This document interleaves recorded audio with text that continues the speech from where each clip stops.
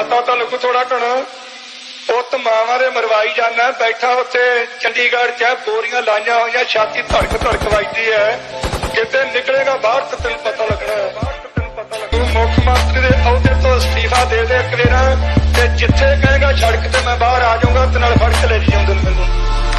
ਜ਼ਾਲਮ ਤੇ ਜ਼ੁਲਮਾਂ ਨੂੰ ਪਈ ਸੀ ਕਿ ਨੱਥ ਵਈ ਗਊ ਤੇ ਗਰੀਬ ਲਈ ਉੱਠਦੇ ਸੀ ਹੱਥ ਵਈ ਮੋਢੇ 47 ਟੰਗੀ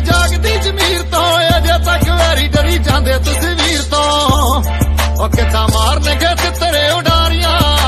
ਮਾਰਨਗੇ ਤਿੱਤਰੇ ਉਡਾਰੀਆਂ। ਖੰਭ ਕੱਟੇ ਹੋਇਆ ਤਾਂ ਹੀ ਸੀਨੇ ਗੱਲ ਰੜ ਕੇ ਚੁੱਕੀ ਚੁੱਕੀ ਚੁੱਕੀ ਫਿਰਦੀ ਆ ਅਸਲੇ।